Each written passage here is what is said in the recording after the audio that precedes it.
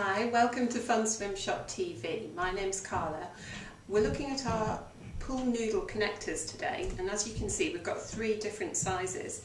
Um, small, medium, large. I'll show you a little bit later on what you can do with these and uh, they just turn your noodles into various creative shapes. Okay, as I said, these come in three different sizes, small, medium and large. Now if we had any number of connectors and any number of noodles, we could show you huge different structures.